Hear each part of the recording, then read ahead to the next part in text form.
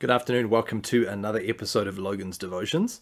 It's great to be together. Wonderful to open up God's Word for another day and see what He has to say. We're turning through to 1 Corinthians chapter 12 again.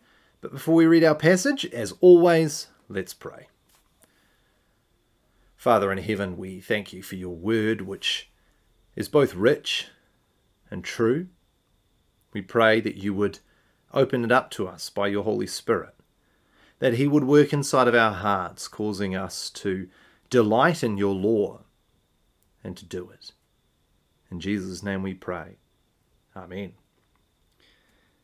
1 Corinthians chapter 12, picking up at verse 7.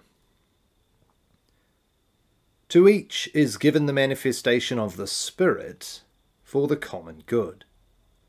For to one is given through the Spirit the utterance of wisdom and to another the utterance of knowledge, according to the same Spirit.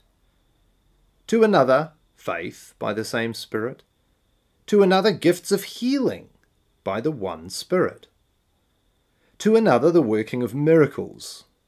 To another, prophecy. To another, the ability to distinguish between spirits. To another, various kinds of tongues. To another, the interpretation of tongues.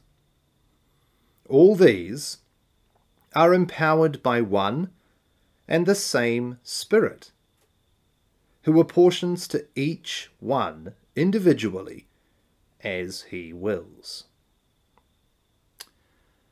Well, there's a very large debate when we get to uh, chapters 12 through 14 of First Corinthians, and that is around the whole theological issue of cessationism or non cessationism. So, if you haven't heard of these before, cessationism is the idea that the miraculous gifts stopped after the apostles. That's what I hold to. Non cessationism or continuationism believes that they continue. Now, that's a very important discussion a very important theological debate. However, I don't want us to go into it now. We might go into it. I'm undecided. But part of the problem with the debate, especially because it gets so much heat and so much attention, is that often the main points of the passage get neglected. Because we're so busy arguing about whether people should be healing people today or whether prophecy should continue. And unfortunately, what happens is we lose sight of the bigger picture of what Paul's talking about. In this passage here, Paul is not telling us what sort of gifts we need to make sure we have. He's not speaking about whether these things continue or not. That's not really on his horizon. His focus is upon the way the Spirit gives gifts and the way we use them. And so in verse 7 and verse 11 at the end, we get sort of like the main point of the section. And the list of gifts in between are just an example to illustrate that. And regardless of your position, it actually makes no difference because the point has nothing to do with whether the miraculous gifts are still happening and have everything to do with the way the Spirit works. And so Paul firstly says that each is given the manifestation of the Spirit for the common good. Now, what does he mean by manifestation? What, what he's talking about is the fact that in each believer, in every believer, everyone that is a true child of God, every person that's been called into Christ, every single one of them has received a outward working and display of power by the indwelling of the Holy Spirit. By power, I simply mean gift. So as the Holy Spirit comes inside of us and tabernacles or dwells within us, the Holy Spirit manifests himself through works, through gifts going out from us. And that is true for every single one of us. It's true for you, and it's true for me, and it's true for every other believer. Now, that is vitally important because it means we need every single believer. We can't say we just need the elders, or we just need ministers, or we just need all the ladies that are amazing in the kitchen, or all the ladies that are amazing and encouraging people. No, what we desperately need is every single person, because every single true believer in your church has been given a manifestation of the Holy Spirit. And so he or she is there for a reason. You may think they smell funny, you may think they're irritating, they might be irritating but the Spirit of God is dwelling within them and manifesting Himself through them for an express purpose. And what is that purpose?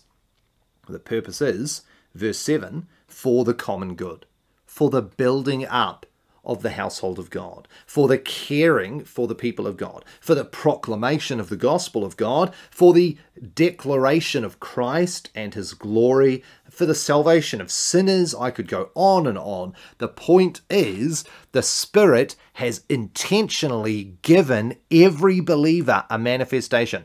It's not that he's given it like, here, have, have a gift and you use it. No, no. It is the Holy Spirit being manifested inside of us. The way the gifts work are not in separation from the Holy Spirit, but they are the outworking of the Holy Spirit within us. So it's not me and my gift, but it's the Spirit working through me. And so when we refuse to play our part in the church, what we're really doing and saying is, I refuse to use what the Holy Spirit is doing. See, the Spirit is working through me for the common good of the people.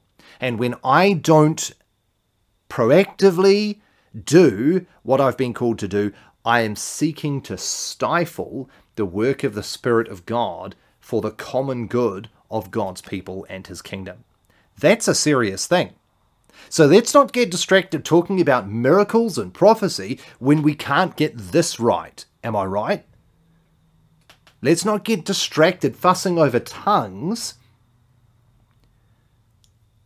Let us focus upon being faithful and using the things that the Holy Spirit is giving us and doing through us as He wills, Paul says in verse 11. All these are empowered by one and the same Spirit who apportions to each one individually as He wills. The list of examples there just illustrate the point. He decided sovereignly to, to give some the manifestation of prophecy, some the manifestation of understanding tongues, some the manifestation of discerning between good and bad spirits, some the manifestation of the utterance of wisdom, the words of wisdom, etc., etc. But it's not according to me and you. Don't despise the gift you've been given. If if the gift that you have been given is manifested in a particular way and you don't really like it, what you're then saying in that moment is that the Holy Spirit got it wrong. That's a serious thing to say. So instead, rather than critiquing what the Holy Spirit's giving you, which is kind of nuts, instead use zeal and passion and energy to take that which God has given you by His Spirit and foster it and flourish in it for the sake of the common good of all. Now, I know sometimes people think it's easy for you to say that you're a pastor who gets to be in the limelight. But the reality is, the only reason I can be a pastor is because there's a people of God who have been given by the Holy Spirit gifts for the common use of all. Without you using your gifts, the church languishes and dies. We need one another. And we need to use that which God's given us. Let's pray. Father in heaven, we pray that you'd help us. Help us, Lord, to use that which we've been given. We thank you, Spirit of the living God, that you are at work inside of us manifesting yourself as gifts are displayed. And we pray, Lord, do it more and more. In Jesus' name we pray. Amen. Thanks so much for joining me for another day. see you back here, Lord willing, tomorrow afternoon.